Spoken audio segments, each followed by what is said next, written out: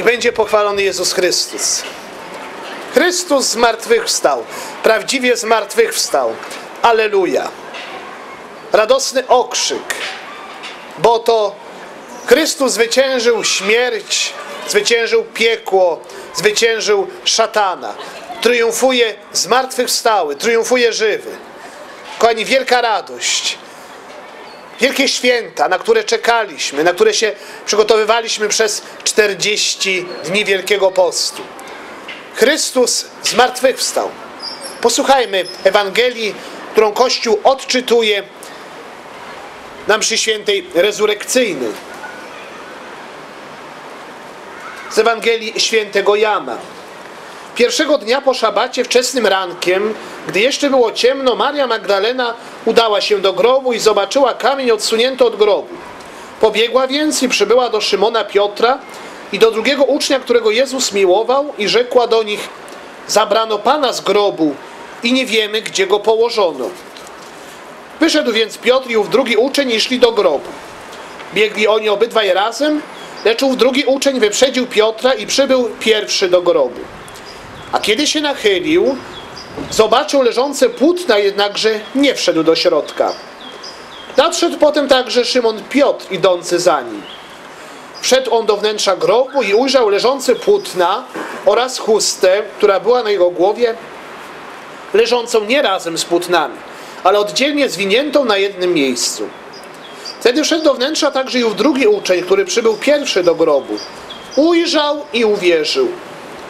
Dotąd bowiem nie rozumieli jeszcze pisma, które mówi, że on ma powstać z martwych.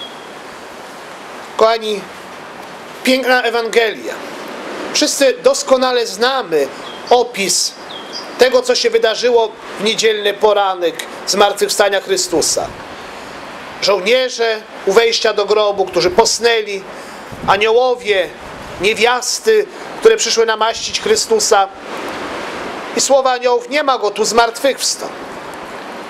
I potem dalej w opisie Ewangelii słyszymy o tym, że biegli apostołowie, zawiadomieni przez niewiasty, biegli. I te słowa po przybyciu do grobu ujrzał i uwierzył. On ujrzał i uwierzył. My, kochani, nie widzimy, a wierzymy. Co roku obchodzimy pamiątkę tego wielkiego wydarzenia, największych świąt chrześcijaństwa, zmartwychwstania Pana Jezusa. Nam wydaje się, że większymi świętami to Boże Narodzenie. Bardziej kolorowe, e, więcej dekoracji, bardziej radośnie może. Chociaż przypominamy, że największe święta chrześcijaństwa to właśnie zmartwychwstanie Chrystusa. Bo gdyby Chrystus nie zmartwychwstał, próżna by była nasza wiara, jak mówi święty Paweł. Zmartwychwstanie Chrystusa. A wcześniej święte Triduum Paschalne. Trzy święte dni, kochani. Uczestniczyliśmy. Wielki Czwartek. Na mszy Wieczerzy Pańskiej. Kiedy rozpamiętywaliśmy ustanowienie przez Chrystusa dwóch sakramentów. Kapłaństwa i Eucharystii. I mówi się powszechnie, że nie byłoby Eucharystii, gdyby nie było kapłana. Nie byłby potrzebny kapłan, gdyby nie było Eucharystii. I Wielki Czwartek dziękowaliśmy za kapłanów i dziękowaliśmy za to, że Chrystus został z nami pod postacią chleba w Komunii Świętej. I Wielki Piątek, dzień śmierci Chrystusa na krzyżu, chwalebnej śmierci, męczeńskiej śmierci, ale to wszystko z miłości dla nas, bo to wielka miłość umiera na krzyżu z miłości do ludzi.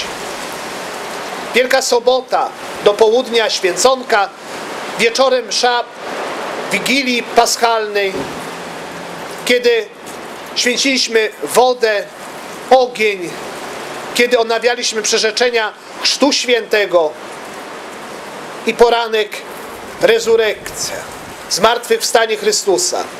Tradycyjnie w naszych parafiach o 6 rano dzwony bijące ogłaszają nam, że oto Chrystus zmartwychwstał, pokonał śmierć, piekło i szatana. Kochani, trwamy w tej radości. Jakże serca nasze przepełnione są tą radością. Bo to Pan, nasz Pan, którego poniżono, którego biczowano, cierniem koronowano, na którego pluto, dzisiaj powstaje z martwych, powstaje żywy i mówi: Wy też kiedyś do mnie dołączycie, wy też powstaniecie z waszych grobów. Ja was zawołam, ja was wskrzeszę w dniu ostatecznym. Wszyscy z Chrystusem będziemy triumfować, ale to On zwyciężył śmierć. Kochani, śmierć została pokonana. Czy my umiemy pokonać siebie, swoje słabości, swoje wady? Przez ten okres Wielkiego Postu mieliśmy czas, żeby, żeby walczyć, żeby coś zmienić w swoim życiu. I zadaj sobie pytanie, siostro i bracie, czy dzisiaj triumfujesz razem z Chrystusem, z tym, który zmartwychwstał?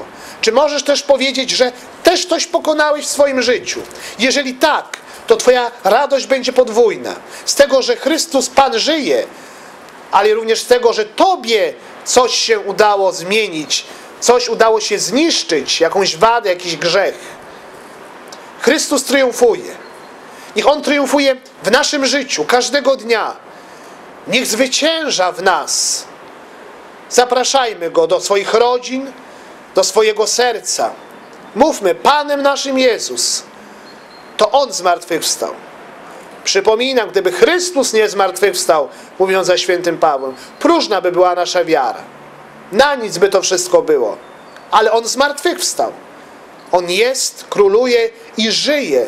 Żyje aż do końca czasu. Wieczny. Kochani, radujmy się.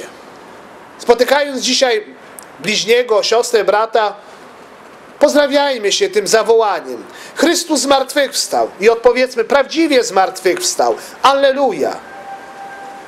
Niech będzie radość w naszych sercach, niech ta radość przenosi się na innych, niech wypływa, niech rozpromienia, bo jest z czego się cieszyć. Chrystus powstał z martwych, żyje, króluje i triumfuje. Radujmy się, bracia, radujmy się, siostry. Na ten czas tej radości, wielkiej radości, niech nam dobry Bóg błogosławi.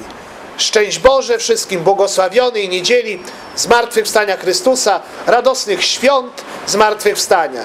Chrystus zmartwychwstał, prawdziwie zmartwychwstał. Alleluja.